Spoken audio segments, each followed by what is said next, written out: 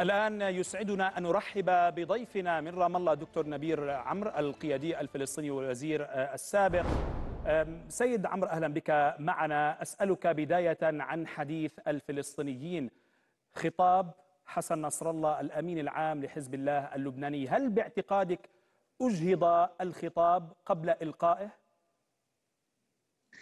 أه لو سمحت لي أه أنا سأقدم تحليل موضوعي. تفضل.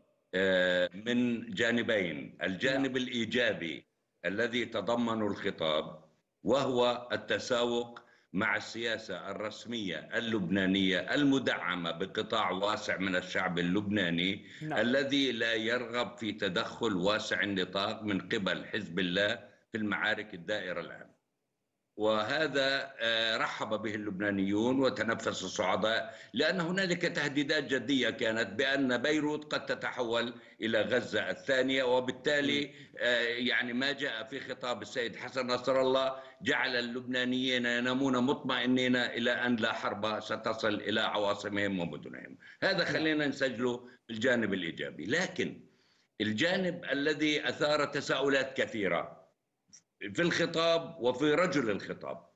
الجانب الأول أن اختفاء السيد حسن نصر الله والظهور على الإعلام لمدة شهر كامل تقريبا والحرب حرب تدميرية على غزة أثار تساؤلات كثيرة. هي في غير مصلحة السيد حسن نصر الله والخطاب. الشيء الثاني الحملة الهائلة التي سبقت الخطاب وكانت ملفتة للنظر وجرى الحديث عنها كثيرا رفعت توقعات الجمهور عما سيقول في هذا الخطاب. والجمهور ليس خبير سياسة ولا خبير استراتيجيات ولا خبير جيوش.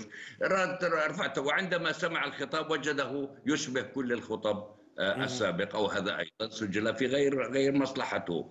وأشياء كثيرة يمكن القول عنها. يعني مثلا أنا لا أرى أن هنالك توازن في اللغة مع الإمكانيات. نعم. لا نستطيع أن نقول أن حماس قادرة على هزيمة الولايات المتحدة الأمريكية وإسرائيل وأنتم عرضتم قدرات الجيش الإسرائيلي.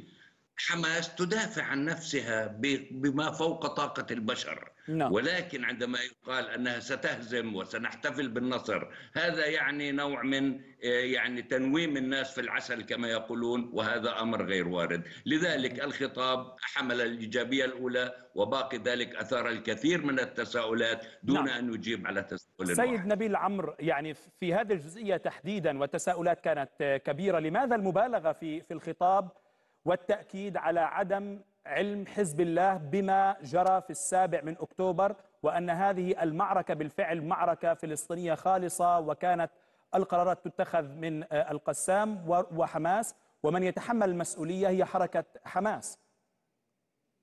يعني هذا ملفت كان نعم. الإكثار من الحديث حول الاستفراد حماس بالقرار. نعم. آه، وأيضا كان ملفت أكثر تبرئة إيران من العملية آه، وهي المتهمة في البدايات بأنها قد تكون وراءها وقيل إنها هي التي دربت وهي التي سلحت وهي التي خططت. أشياء كذا تذكرتم اليوم الأول لم يكن في حديث غير هذا. وبالتالي كان آه، لو تمر لو لو اعترفت إيران بذلك فهذا يعني أنها ستدخل في معركة طائعة أو مرغمة. لأن من لأن الذي فعل ذلك لو أقرت إيران به تكون هي إيران التي قامت بذلك.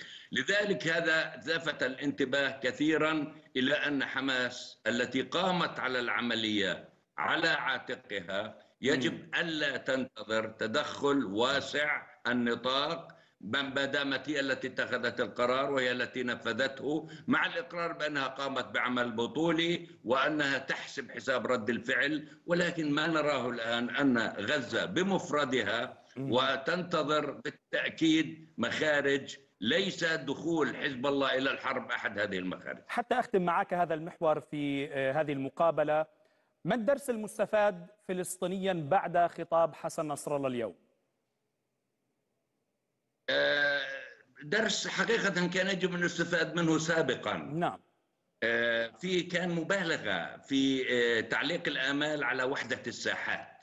بمعنى أنه عندما تتعرض ساحة إلى قتال تهب الساحة الأخرى نجدتها هذا هو مفهوم الوحدة. يعني هي في مناطق جغرافية متعددة ولكنها في حال واحد ورسالة واحدة وسلاح واحد وهدف واحد وبالتالي معارك واحدة. تبين أن لكل طرف من هذه الساحات حساباته الخاصة التي لا صلة لها بحسابات الآخرين. وخرجت أصلا من وحدة الساحات سوريا اللي هي العصب الرئيسي بالعلاقات السيئة التي نشأت بينها وبين حركة حماس بعد مصالحة عابرة لوقت قصير. لذلك قضية وحدة الساحات هذه آه، وتفريغها من محتواها العملي كان أحد النتائج التي لاحظها الناس والتي بالتأكيد لا تسجل لمصلحة آه، قوى الممانعة.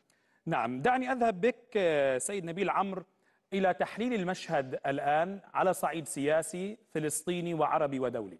هناك أخبار عاجلة الآن من الأردن الحديث عن اجتماع لوزراء خارجية الولايات المتحدة الأمريكية السعودية الإمارات قطر ومصر ومسؤولين فلسطينيين في العاصمة الأردنية عمان يوم غد. لماذا هذا الاجتماع الآن وما المأمول منه باعتقادك؟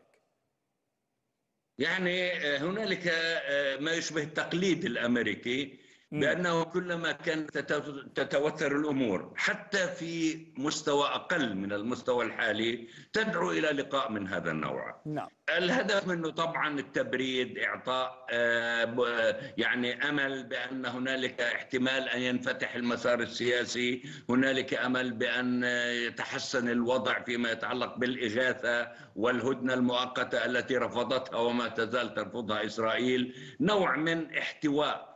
ردود الفعل على الصعيد العربي.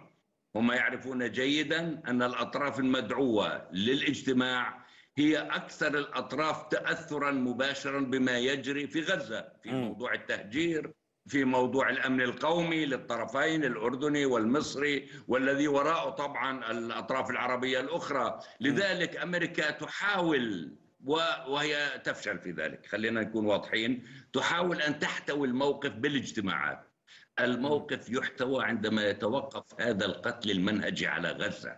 القتل الذي يأخذ كل يوم مئات عشرات القتلى في اليوم نعتبر أنه تطور مهم ولكن الآن أصبحوا بالمئة.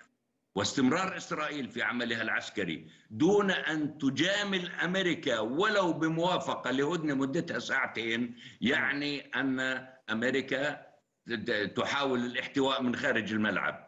نعم. الاحتواء في الملعب يعني لجم إسرائيل عن مواصلة ما تعمل وهذا لا تستطيع أمريكا. اذا اذا إذا لم نقل نعم. تريد سيد نبيل عمرو لماذا لا يتم الحديث الآن عن وقف فعلي لإطلاق النار في قطاع آه، غزة في ضوء هذا الاجتماع؟ وهل ستكون المطالبات العربية واضحة في هذا آه، السياق وإجبار إسرائيل أقل القليل هدنة إنسانية لساعات؟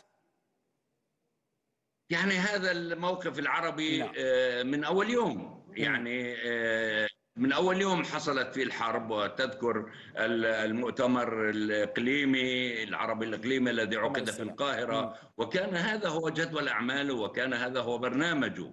نعم. المشكلة أن إسرائيل في خططها العسكرية التي تبحث من خلالها على صورة نصر لا تصغي إلا لخططها العسكرية وما تقدره من احتمالات نجاح لهذه الخطط لا تلقي بالا لا بمظاهرات في العالم ولا بتحول الموقف الدولي كل هذه ولا حتى بعض التعديلات التي طرأت على الموقف الأمريكي، إسرائيل لا تلقي بالا لذلك كله. إسرائيل حشرت في الزاوية نتيجة العملية الناجحة التي قامت بها حركة حماس تحت عنوان فيضان الأقصى. إسرائيل نعم. في هذه الحالة تعمل ولو أنه لغير مضمونة النجاح لنكون واقعين في هذه المسألة على أن تنهي المهمة التي وعدت الجمهور الإسرائيلي بها وهي بذلك تكون قد جنحت بعيدا عن الجهود السياسية الإغاثية والإنسانية والحقوقية بعيدا جدا وغير آبها بها. حتى لو حصل ألف اجتماع تحت هذه العناوين. وهذا يدفعني للتساؤل إلى أين يفضي أكتوبر الفلسطيني كما تساءلت سيد نبيل عمر قبل ذلك؟ أولا الجانب الصعب في الموضوع هو ما تتعرض له غزة. نعم. يعني آه، البطولات البطولات التي تحدث وقوة الصمود الهائلة والجبارة لا تلغي الحزن والأسى على استشهاد 4000 طفل. على استشهاد أسر بكاملها على تدمير منهجي لمعظم منازل غزة. الذي لم يدمر بالكامل تشقق ولم يعد صالحا للسكن. هذا مؤلم لنا كفلسطينيين. يوازيه طبعا الصمود الأسطوري لأهل غزة قبل هذه الحرب وأثناءها وإن شاء الله بعدها بما في ذلك المدافعين عن غزة. لكن الآن في حديث.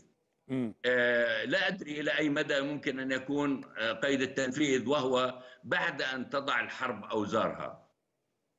ما الذي سيحدث على صعيد فتح المسار السياسي نعم سنتحدث في ذلك دكتور نبيل عمر وفتح المسار السياسي في حال وضعت الحرب أوزارها. لكن نحن الآن في غمرة هذه الحرب ومع تواصلها هناك مجازر ترتكب بحق المدنيين. دعني أذهب إلى شمال قطاع غزة. هناك مجزرة إسرائيلية جديدة ترتكب بحق عائلات نازحة في منطقة الصفطاوي ومدرسة ذهب إليها هؤلاء للمتابعة معنا مراسل الغد من شمال قطاع غزة عبد الله عبيد إليك عبد الله ما الذي ترصده لنا؟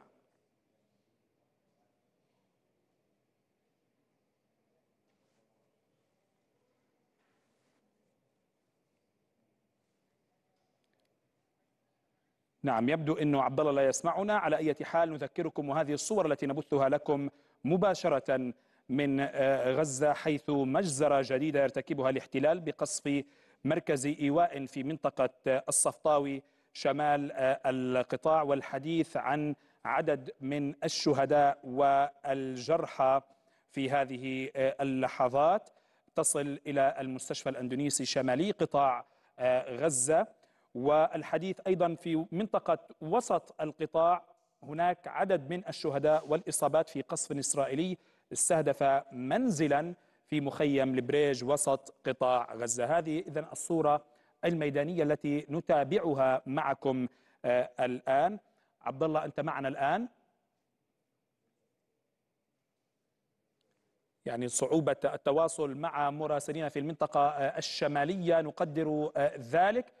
ونصر على أن تبقى لنا الصورة والكلمة لمراسلنا عبد الله عبيد. عبد الله تسمعنا الآن؟ يبدو إنه لا يسمعنا هناك مشكلة. سنعود لك عبد الله عبيد مراسل الغد من شمال القطاع. بالعودة مجددا لك سيد نبيل عمرو القيادي الفلسطيني والوزير السابق. نتحدث في حال وضعت الحرب أوزارها. هل تتوقع بداية ذلك قريبا؟ وما المسارات التي يمكن أن تفتح على صعيد سياسي؟ اولا نتمنى أن تنتهي اليوم قبل الغد. نعم. وهذا يعني أن غزة لم تنهزم لم تخرج من المعادلات كما تريد إسرائيل وتبقى هي والمقاومين فيها في قلب المعادلة. هذا إذا انسحبت أو إذا أوقفت عملياتها العسكرية أو إذا وضعت الحرب أوزارها كما يقال، لكن بما أن إسرائيل ماضية في هذا الاتجاه وبالتالي لا أحد يعرف متى ينتهي الأمر، بعد ذلك سيطرح على الساحة ومن الآن ربما هو مطروح من الذي يحكم غزة؟ ليس هذا سؤال أعتقد أنه مبالغ في الحديث عنه والصيغ المتعددة البديلة منه، الشعب الفلسطيني في غزة عنده ما طاقات وإمكانيات يحكم فيها ثلاث بلدان، وبالتالي نعم. هذه مسألة إحنا وإخواننا المصريين ممكن نحلها بطريقة وطنية وليست بطريقة أن يأتينا مستشارين وخبراء يعلمونا كيف ندير شؤوننا. بعد ذلك يأتي ضرورة الحل الجذري للقضية الفلسطينية وإلا سننتقل دائما كل شهر وكل شهرين من معركة إلى أخرى من مذبحة إلى أخرى وأنتم تلاحظون نعم. القصة ليست في غزة فقط الآن الضفة تعيش جحيم نعم. القضية المستوطنين والجيش م. الإسرائيلي إذا هذه المسألة أصبحت تلح وحقيقة نعم. أن هذه الحرب قد تفتح الباب ولكننا لسنا متأكدين من نزاهة الموقف الأمريكي أو من استجابة الموقف الإسرائيلي ومن لنا لقاءات أخرى. نعم لنا لقاءات أخرى. بكل تأكيد دكتور نبيل عمرو اعذرني على المقاطعة تطورات ميدانية متلاحقة يجب أن نتابعها القيادي الفلسطيني والوزير السابق. شكرا جزيلا لك. الآن